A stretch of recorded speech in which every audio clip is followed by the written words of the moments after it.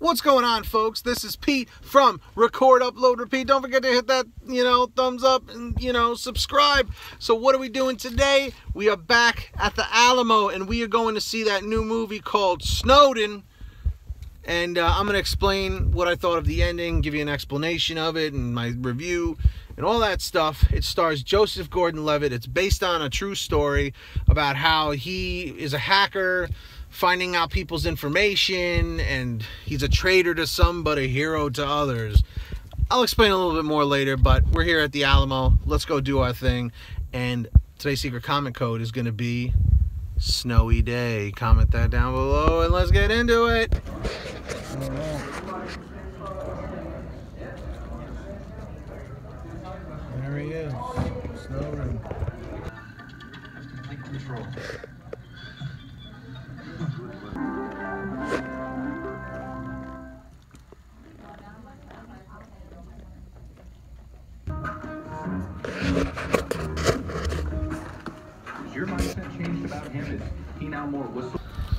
All right, everybody. So I just got out of seeing the movie Snowden, and uh, I'm going to give you my review, explanation of the uh, end of the credits, explanation of the ending, and um, that's coming up.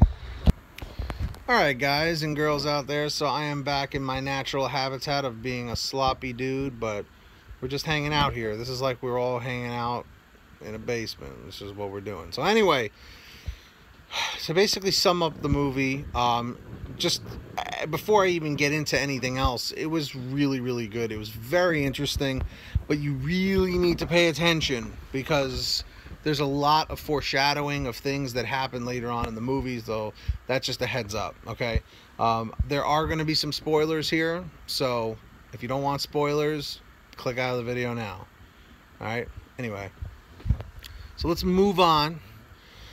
So basically, to sum up the ending and ex- explain it and talk about the end uh, credits of the movie, uh, Edward Snowden wanted to expose the United States government for um, the fact that they were using his programs for bad and and basically spying on everyone, like anywhere and everyone, through any kind of technology you know being able to turn on webcams and uh, when you know when the computer isn't even on and uh, you know through your text messaging phone calls skype calls social media facebook everything they could check everything and anything even the stuff that you have private.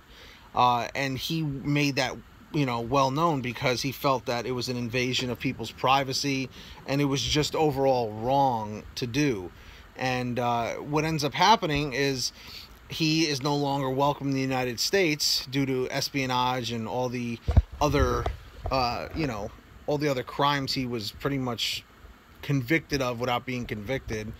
Um, so he ends up finally in Moscow, Russia, where is where he's still at today, and um, at, you know, and then you basically just find out that he's only supposed to be there for three years, and then he has to go somewhere else.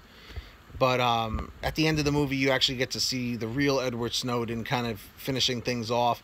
And after the credits, like during the credits, you see all the different newscasts when everything went down a few years back uh, in 2013. And uh, it, that was pretty much the sum of it. I mean, I can't really explain too much more, but it basically comes out to be that he was a hero, I guess, to the world and an enemy to the United States, like a traitor, as they say but they, just basically go and explain and show how he was able to get all these files out and made public through the news, through journalists, and uh, how he just got it out there and basically screwed over the NSA.